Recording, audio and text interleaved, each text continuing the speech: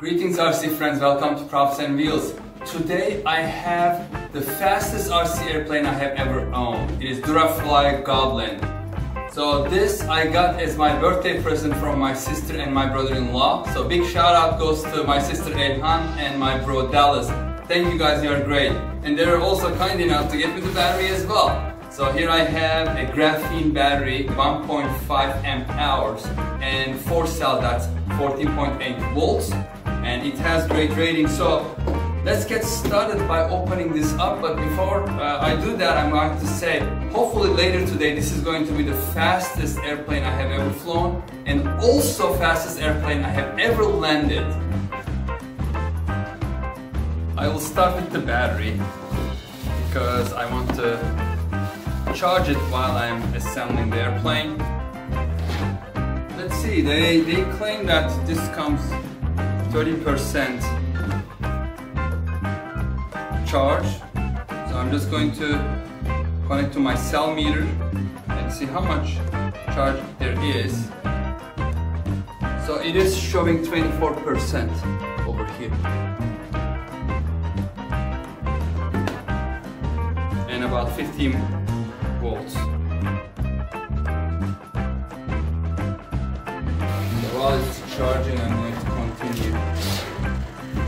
this setting it up.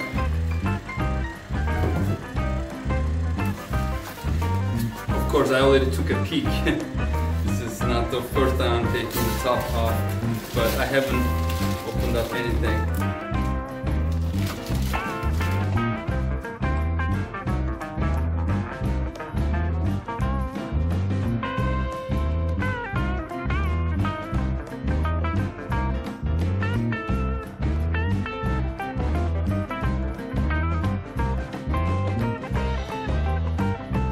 They included also the clevises or control horns. I'll decide later which one to use, bowling or these clevises.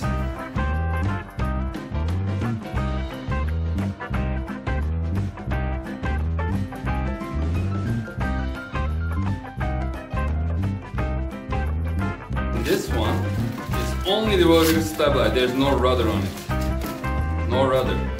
This is a three-channel airplane. It's also called bank and yank. So you bank with the ailerons and yank it with the elevator here. And of course you have throttle. In terms of the receiver, I'm planning to use this Storm RCS 603 DSMX receiver I have used one of these in my, one of my other planes before successfully. I didn't have any issues. And I'm going to use my Radiomaster TX16S to bind to it. That's my new radio. I already have two planes. Is going to be the third plane on it. ESC is in the bottom, already installed, 45 amp ESC. It's Aerostar, so you can see it here.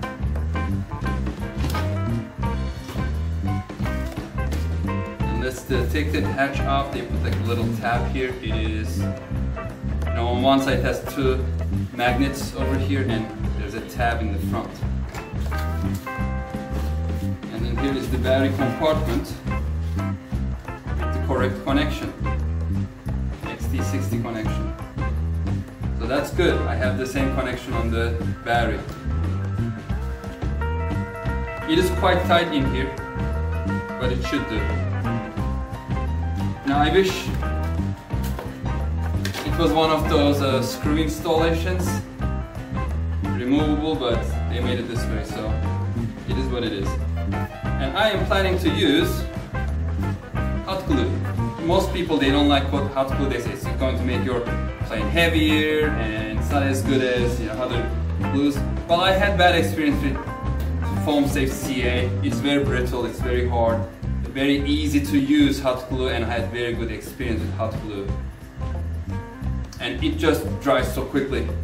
So I'm, this is a Sunday morning. I'm hoping to put this all together and then just go on the field, the location that we fly at, and then fly it today later. These are the wires going to the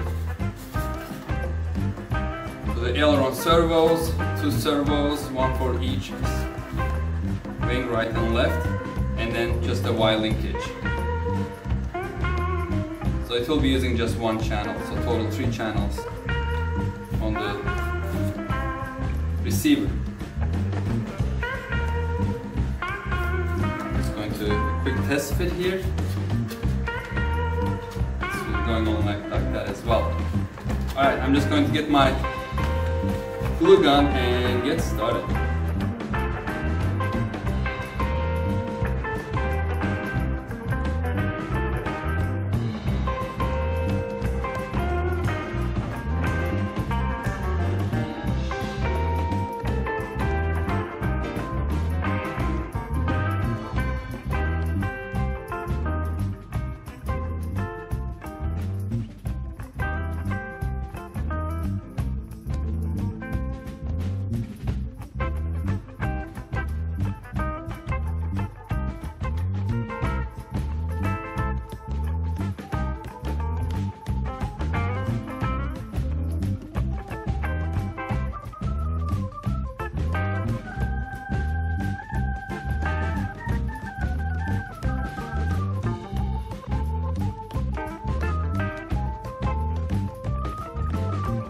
Nice and straight. No issues here. Everything is nice and straight. I'm just going to fill a little bit of uh, those gaps. A little bit more hot glue. And then we'll be ready to work on the wing.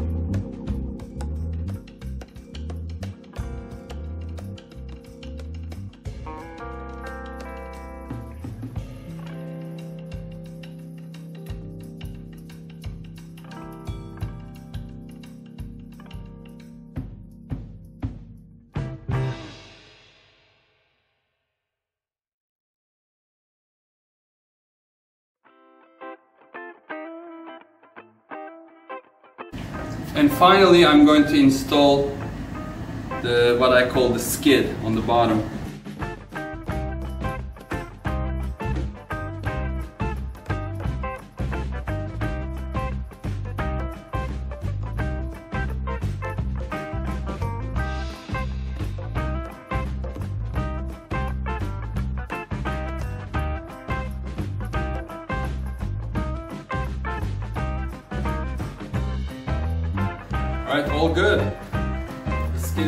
As well. I may end up putting a little bit of a tape over it, eh, maybe, not sure. I'll decide later, but it's time for installing the radio.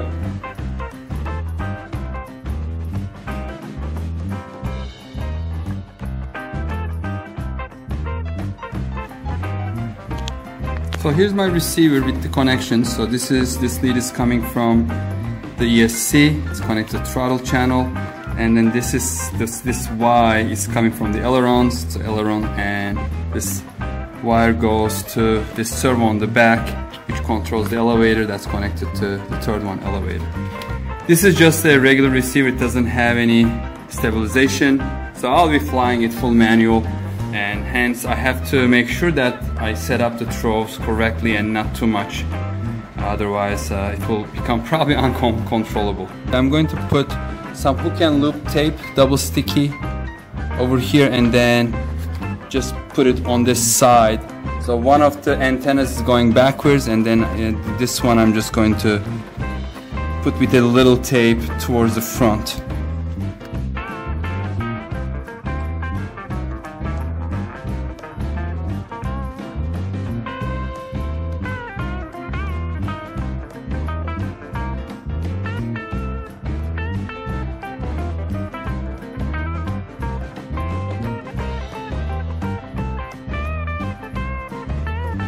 the antenna is in place as well on the side over here as well as the other one going through that hole to the back.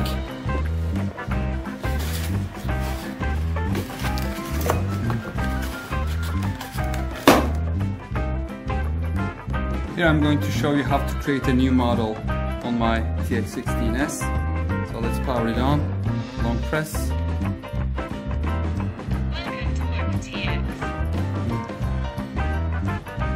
Next I'm going to press and hold this button. And then says model select. And then I'm going to press and hold this button again. Press again, create model select plane. Does your model have motor? Yes. I'm going to skip that. It's on channel 3. So I'm going to press page down button. Next page. Number of ailerons on your model. So in this case, what I'm going to select is one or two with Y cables because I have Y cable. Press this. It's on channel 1 next page and my model does not have flaps next page got tail configuration so I don't have any rudder so press this one go back one channel for elevator no rudder and it is on channel 2 next page press that one yes all is well create the plane so it has been successfully created. Press return and here is my model 12. Now let's select that model and return to the main page. Model 12 is selected.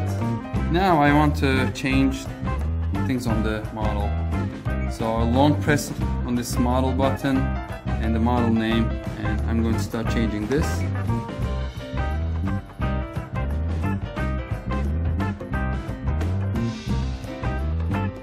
Goblin.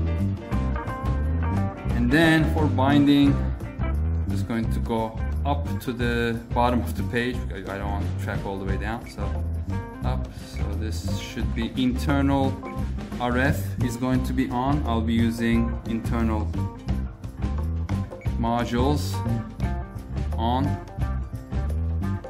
So it's a multi-module. Click that one. Come here. So DSM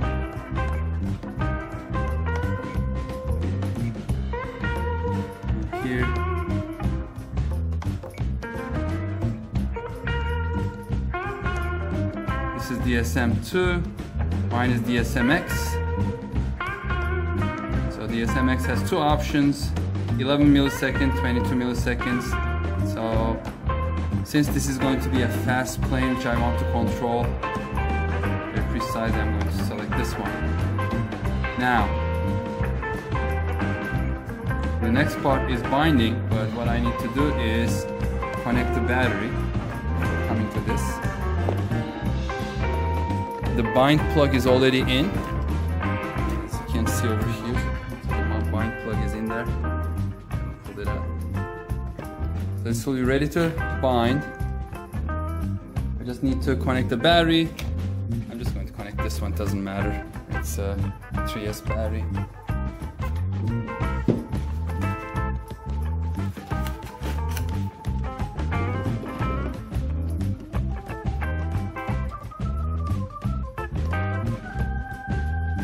as you can see it is blinking over here.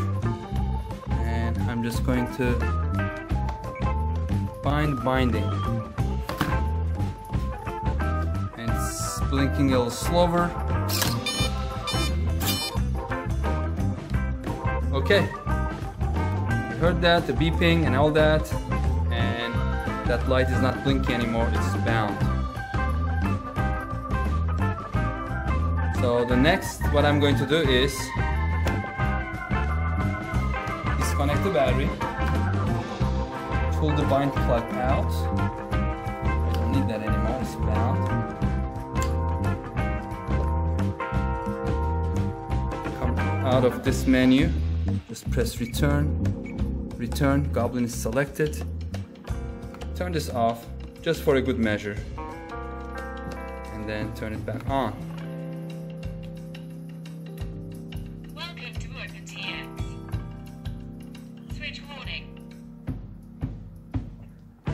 Thank you for the switch warning. I'm not using that switch. Okay, Goblin is selected.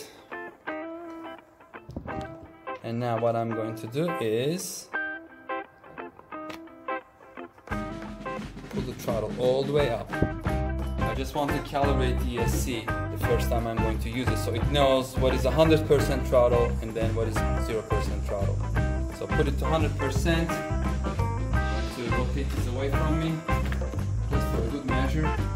So the prop is not facing me, it's just not going to hit anything.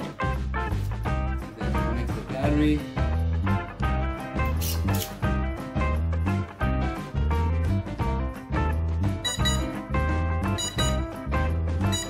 Pull it back down all the way after those beeps. So three beeps, so it says three cell battery, spinning in the right orientation blowing air towards my hand. So that's good. And let's ch check the controls very quickly. This, one I haven't connected the elevator yet. So as you can see, I'm right aileron is going down and I push it right, so I have to reverse the aileron controls and let's quickly check when I do up elevator. These should be pushing out as you can see over here. Then I haven't connected them yet, but they are pushing out for up, pulling them in for down. Show you, just to show you how to reverse one of the controls, in this case the aileron. I press this long press model. And then I'm going to go page down to here outputs. And channel 1 that's aileron. Select and then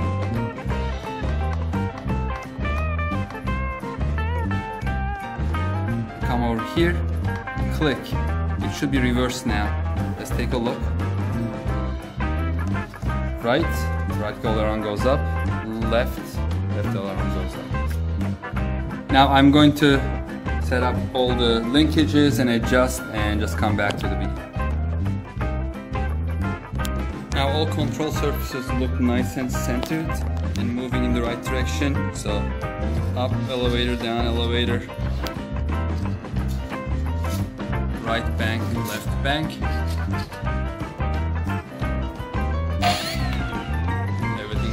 good. So the next thing is I'm going to put in the, the right battery, the correct battery, and adjust the CG. So I marked the CG. It is 45 to 50 millimeters from the leading edge here. And I put a little dab of hot glue and colored it with a red Sharpie. So I can feel it without looking and it's also visible in good contrast.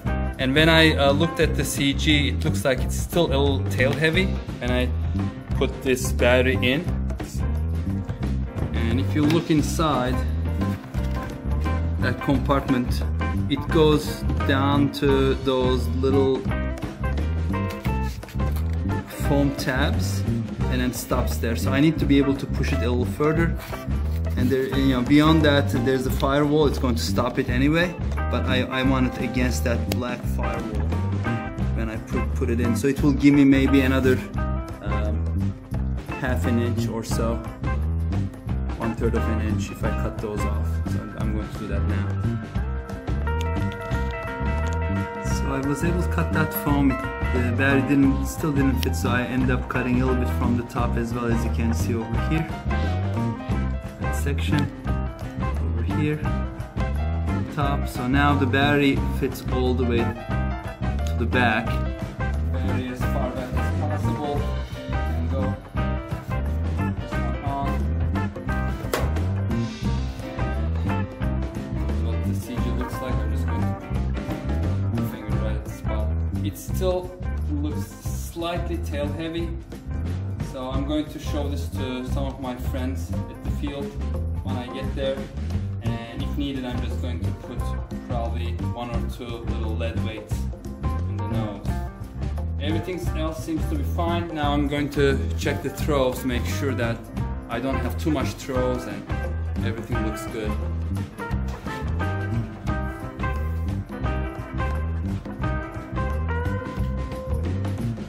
The elevator moves quite a bit. What I'm reading here is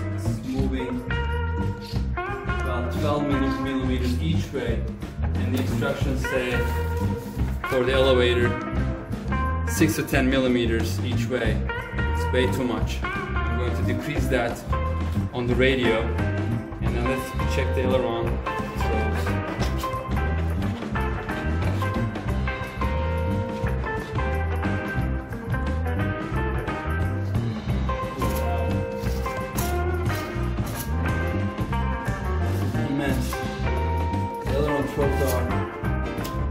20 millimeters and what is uh, recommended is 6 to 12 millimeters so I need to decrease that as well quite a bit.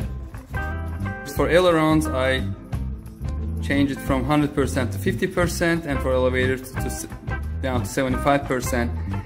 Now I have for elevators uh, 8 millimeter throw and for the ailerons 9 millimeter throw which is pretty good. This is right in between these numbers so I think it should give me a good balance. My Durafly Goblin is all ready. Thank you very much for watching. Please stay tuned for the next video of the maiden flight and also hopefully the maiden landing. Enjoy this wonderful hobby. Stay safe and healthy.